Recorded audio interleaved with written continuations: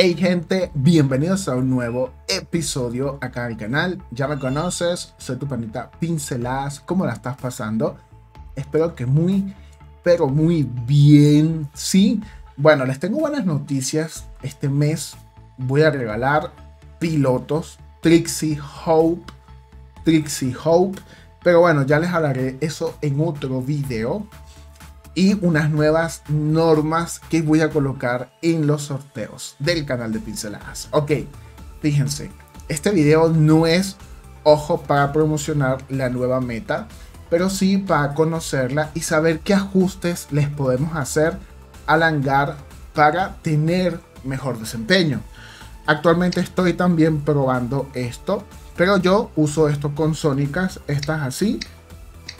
Y bueno, ya saben que uso mucho Sónica, ¿sí? Vamos a comenzar con el Seraph.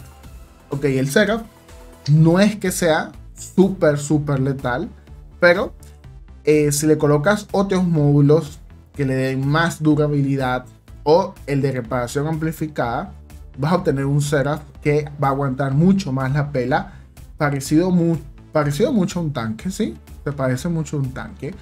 Y es bastante interesante. Las punchers son las que más van a usar porque hacen un daño excelente. Y bueno, este piloto tengo que probar el piloto nuevo. Pero les voy a presentar el gameplay para que ustedes vayan viendo el impacto y qué hacer. ¿Qué combinaciones podemos usar? Me gustaría también leer en los comentarios tu opinión acerca de qué combinaciones podemos usar para hacerle casa a este amigo. Ok.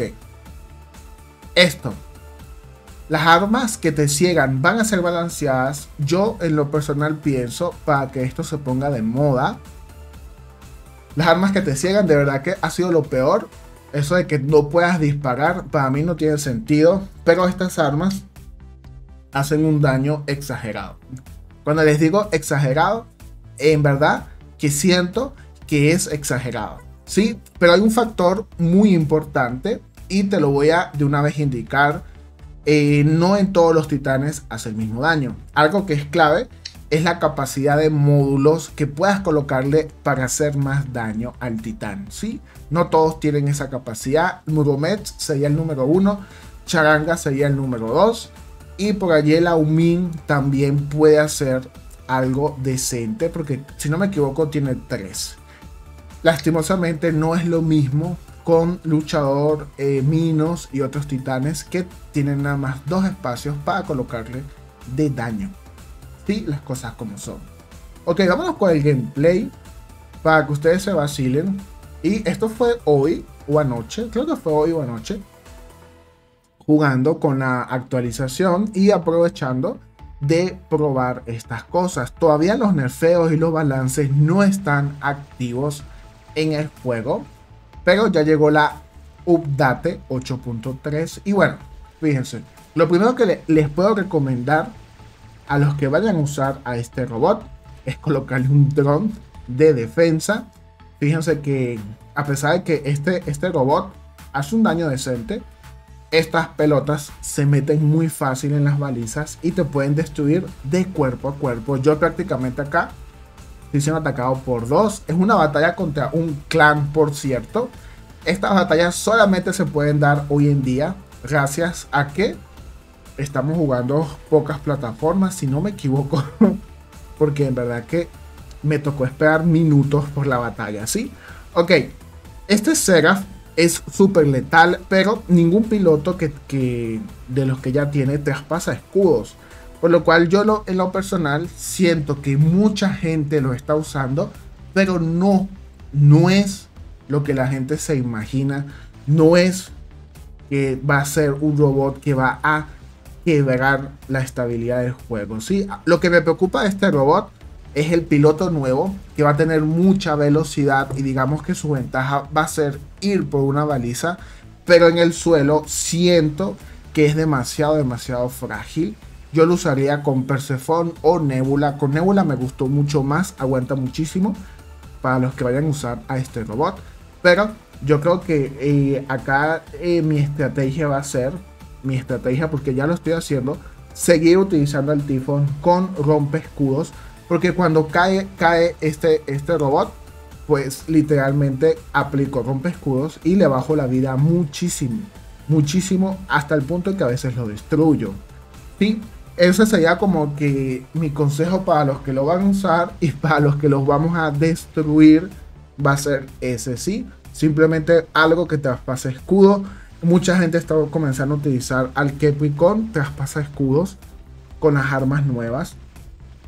Estas que son como una Tarán, pero de 600 metros, ¿sí?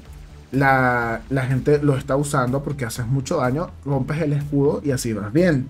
Ok, esas son mis concepciones acerca de este robot. Se puede volver meta. Yo creo que el juego se va a ver obligado a sacar por lo menos a otro piloto que, que haga algo más. No me convence ninguna de las dos habilidades, más velocidad y eso, pero no me convence. Siento que es un robot que si no te has pasado escudos, actualmente en la meta que hay de full escudos en Liga Campeón, no va a marcar muchísimo la diferencia, ¿sí? Lo utilicé con parálisis para que paralice y la cuestión, pero algo que es clave es alargar la vida de este robot para que medio aguante y no te lo maten muy fácil, ¿sí? En un mano a mano, en un mano a mano a este robot lo destruye muy pero muy fácil, ¿sí? Ya voy a sacar el titán y el titán sí es la parte que me preocupa porque considero que el daño, ¿sí? El nivel del daño o la capacidad de hacer daño es demasiado elevado. Siento que con algunos titanes va a ser una locura. Y es lo que considero que se puede volver meta. ¿sí? No sé qué tan, tan negativo va a ser el balance del Muromets. Pero con el Charanga considero que va a ser una bestia estas armas. Y vamos a ver acá, fíjense, esta capacidad de hacer daño a múltiples objetivos al mismo tiempo, incluso teniendo sigilo el enemigo, hace que puedas activar la nave espacial múltiples veces. Demasiado rápido porque le estás haciendo daño a todo el mundo. Inclusive a los que tienen sigilo le puedes hacer daño. Y eso, digamos que va a frenar muchísimo el uso del mismo Muromet y de cualquier robot que tenga sigilo porque prácticamente queda inútil. Sí, fíjate que acá se lanzó uno de estos titanes eh, luchadores bien maxiados. Al final te voy a mostrar el nivel del hangar y te vas a dar cuenta que el daño que hacen es de verdad que estas armas hacen un daño descomunal. Ahora, el luchador lo utilicé con estas armas y no, no sentí que fuese eh, la, mejor opción. Yo creo que el luchador, me imagino que el juego va a querer que la utilicemos con las escopetas nuevas, estas de 500 metros. Es lo que yo supongo, ojo, es lo que yo supongo, que puede ser que se vuelva meta con el luchador. Pero estas armas en el Muromets, en el Charanga y el Aumin, así, en ese orden, dependiendo del balance, ojo, del Muromets, es una vaina sin precedentes para mí. Siento que hace demasiado daño. Y me atrevo a decir que si esto se va a volver meta, voy a dejar de utilizar el Minos. Ya lo probé contra el Minos, hice un video. Lo único es que estoy esperando el balance, probándolo.